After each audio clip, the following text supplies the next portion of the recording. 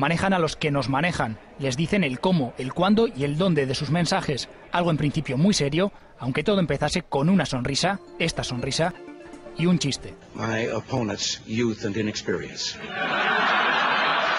Kennedy en los 60 y Reagan en los 80.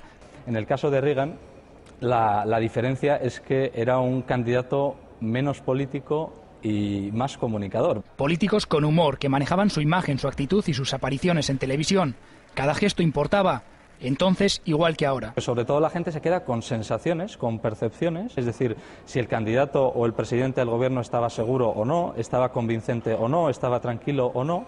Pero ha tenido que venir otra sonrisa mayúscula para dar un giro más a la comunicación política. Ahora lo que se lleva es el storytelling. Que es la técnica del relato, es decir, cómo los gobiernos, cómo los partidos utilizan, digamos, un hilo narrativo, una forma de contar, de comunicar, de proyectar, de narrar, digamos, las políticas públicas, los proyectos de país, la candidatura de un determinado político. Y los nuestros se aplican el cuento, se muestran cercanos, humanos. Puedo decir por experiencia, te acercan a gente que seguramente... Sabemos que Pachi López acaba de escuchar esto que Urkullu se interesa por el Bloody Sunday o que Basagoiti también baila al ritmo que le dicta su equipo de comunicación.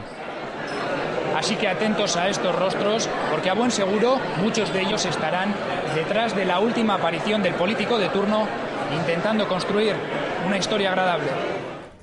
Comunicación sin descanso 24 horas y multiplataforma son las nuevas vías para conectar con un nuevo tipo de lector.